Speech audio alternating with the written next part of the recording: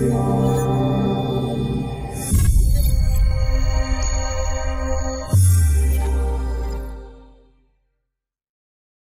everybody, welcome back to my channel. My name is Zai from Zai Photography and today we're gonna go over lighting.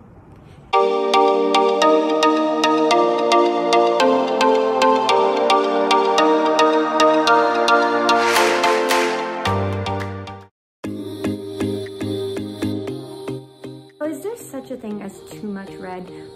Possibly, if the lighting doesn't come out right. So what we're gonna be doing is we're gonna be shooting with one light and we're gonna be positioning it in four different types of ways.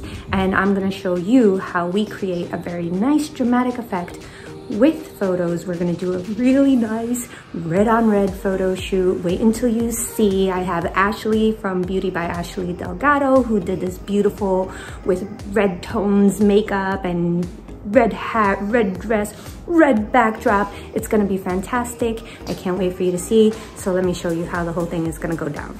All right, so we are here at the Knowlton Galleries and I'm going to be using the Glow Soft Box. It's about 36 inches in diameter. And um, we just have like the regular, I mean, it's, you know, beautiful beauty, beauty dish. It's actually lit. Um, and then we're gonna be using this, the grid, the honeycomb grid. Do you know what it's used for? Uh, I just learned, um, and I'm just learning this. So I, as I learn, I'm just going to be sharing this information with you because it is a game changer in photography. Um, so let's get started.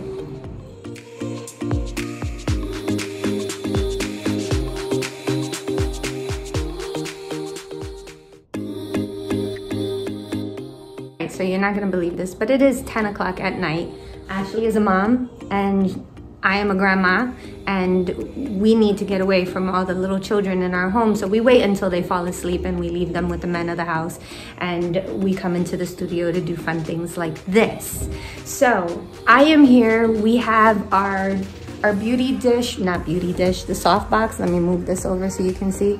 Um, the soft box is set at a 45 degree angle and I'm gonna show you, usually what I like to do is I like to take the soft box and position it where the opening is. So if her hat is tilted to one side, I'm gonna move it over and put it on the other side. If it's tilted on this side, I'm just gonna move it over. So it's either, you know, it's a 45 degree angle at a 45 degree tilt on preferably on the most open space that she has. So if she divides her hairline here, I'm gonna put it over on this side so that way I don't get the harsh shadows of her hair.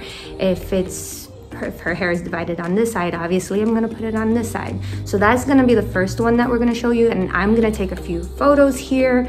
Um, I'm actually gonna switch out my lens. I'm gonna use a 50 millimeter lens. I am shooting on the Canon 5D Mark III and I will show you what those photos look like. All right, so we are shooting with the Flashpoint system.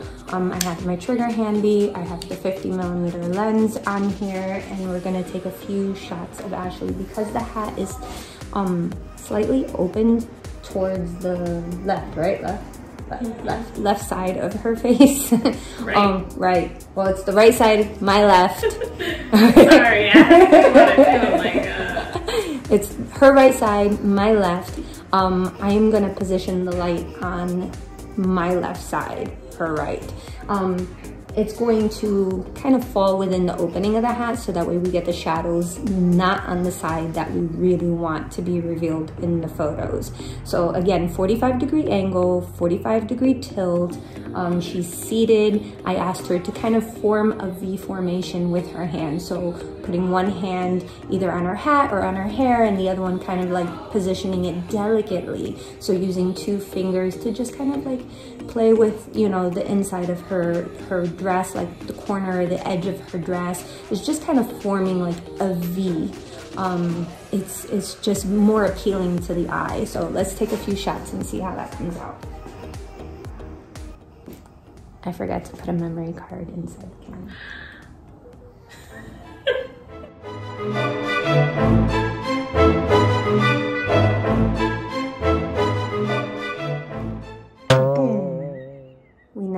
The memory card inside the memory. and then slot the camera. So we're, we're gonna take the photos for real this time. So we're back to doing this with just the softbox at a 45 degree angle. Let's do this again. All right, ready? And oh, it's perfect. And it's, it's really, really, really beautiful. And now I'm gonna put the honeycomb and we're gonna concentrate the light a little bit more. The honeycomb, because I have control issues. Put it on. So it's just a Velcro and we're gonna put it right over this soft box.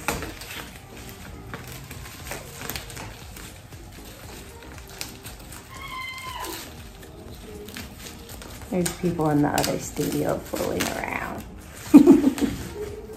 All right, and we're gonna keep it at the same 45 degree angle because I really want you to see the difference of what the honeycomb grid does. I call it a honeycomb. What the grid does to this particular photo. So all the settings are exactly the same. On each of the photographs that I'll be showing, kind of mixing into the video, you're gonna see the settings that I used for each one of the photographs.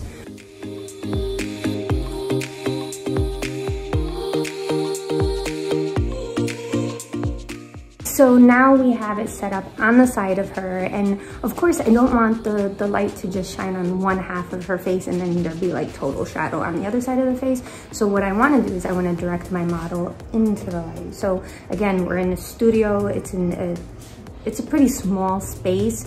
So mastering lighting is something that every photographer has to learn um, if you're working in a studio space and making it work for you. So I'm gonna give Ashley a different position. I'm gonna give her something a little bit more whimsical, maybe doing something like this, but her face directed towards the light so that way I can get a nice glow on her face. Settings exactly the same. All we did was we moved the light over to the side of her. That's all we did, all right? So Ashley, you're gonna look into it. Um, I'm gonna look more in this direction over here. but your body is gonna be tilted towards, towards the, light. the light. Yeah, and so I just want you to kind of like bring your chin up because I really want the light to hit you, but I, I want it to fill in this light because it's so on the side of you and it's so above you, it's really gonna cast a lot of shadows on this side. So let's see how this comes out. So let's do something with our hands. Let's do something where we're kind of like with our hat, with our hair. So much better when you're There you go. Oh, it's cute.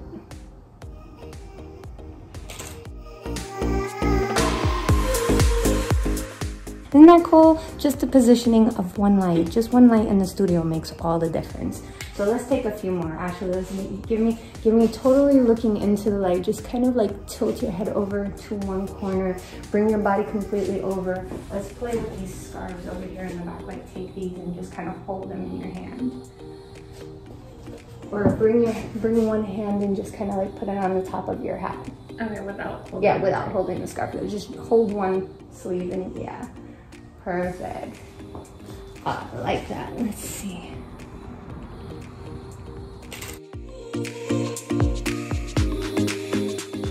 Gonna go to our next lighting setup and what we're gonna do is what I just, I just learned this, so I'm gonna try it. I'm not sure how it's going to work out, but it's called the clam effect.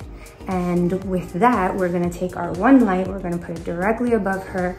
We're gonna have it tilted down, shining the light this way. But what we're gonna do is we're gonna put a reflector in her hands where she's gonna hold the reflector, put her chin up, and what the reflector is gonna do is it's gonna bounce the light from the light up above her, it's gonna bounce and it's gonna fill in all the harsh shadows. So we'll take a picture without the, the reflector first so you can see how that looks, the shadows underneath, and then we'll put the reflector right underneath her and you'll see how that works out. So I have this um, cute little reflector that we're gonna be using as a, I, they, they come in all different sizes and so this, yeah. This is it. it really did smack me in the face. All right, so we have the silver side and then we'll have the gold side. I don't think I'm gonna use the gold side because it kind of, or maybe I will. I don't know. Let's see how it, it bounces. We'll just play with all of it. So we'll take a photo on one with just the light right above her um, showing the shadows underneath and then one using the reflector with her chin up and you'll see that the light bounces off of the reflector filling up all the shadows underneath and let's see how that turns out. We're just talking about faces right now. Go ahead, let me see.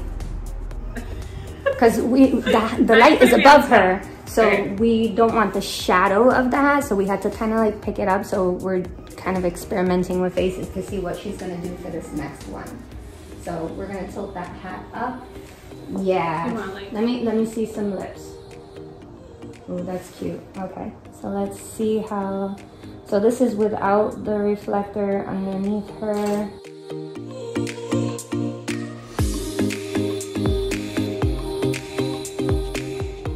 And that is beautiful. I just love it. Like it, it just creates like um like a vignette. But we took that one photo where Ashley is looking up, the light is directly above her. And the reason why her chin is up is because if I put her face down, then what's gonna happen is she's gonna get a shadow underneath her nose, shadow underneath her lips, shadow underneath her eyes. That's usually like if someone's wearing like long eyelashes, you get like that spider effect underneath over here. You don't want that. All right, so here. Now I'm gonna hold the reflector and you're gonna hold that same. Oh, actually, you know what? Let's put your eyes down um, so that way I can kind of capture the eye makeup because that's pretty hot. That's actually really nice. All right, ready? All right, let's see how. That's nice. So the reflector actually filled up the light underneath her neck and you'll see the difference between the photos. So I'm gonna take the reflector away from her and have her hold that same pose so that way the photos are identical because the other one she was kind of holding her hat. So we're gonna do this again without the reflector so that way you can see the difference and hold that same pose up.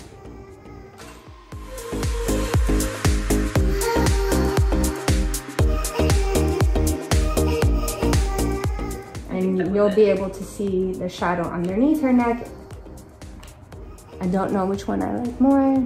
It's all a matter of preference. Um, but contrast really does make a photo like really pop. You really get a dramatic effect. We'll do it one more time, but we'll do it with the gold. So that way we can see how the gold bounces back. Maybe it'll offer something different. Let's see. I'll do that one more time.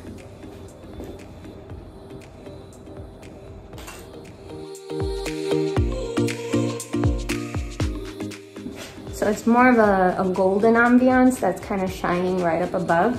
I'm not sure if that's my preference. Um, maybe I'll see in post, I'll be like, wow, I really like that. I'll just kind of bounce back and forth in Lightroom to see which one I like more. And then um, I'll go from there. But I definitely am gonna show you all the side-by-side -side comparisons. So many other options that we can do, but right now I just wanna focus on capturing Ashley's beauty uh, trademark, which is her face and those beautiful lips with our red and red photo shoot and I will be sharing all of that with you.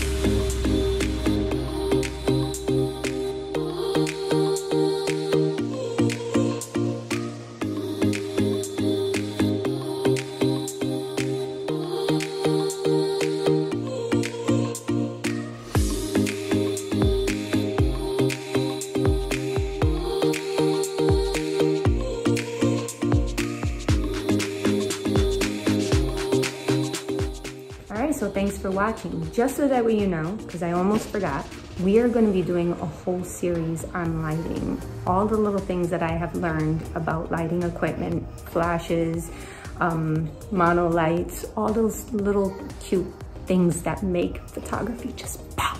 We're gonna be using all of it in our next coming series, so stay tuned because I am gonna be bringing another model onto the set where we're gonna be introducing lights um, in different positions. So this one was just using one light going all the way around, but the next one, we're gonna do one light, then introduce two, then introduce three, introduce four lights, and show you how it changes and really makes a photograph very dramatic. So stay tuned and be sure that you're following. Thanks for watching. Be sure to subscribe, like, and follow, and please share. Also, don't forget to check out the playlist. Some good content in there.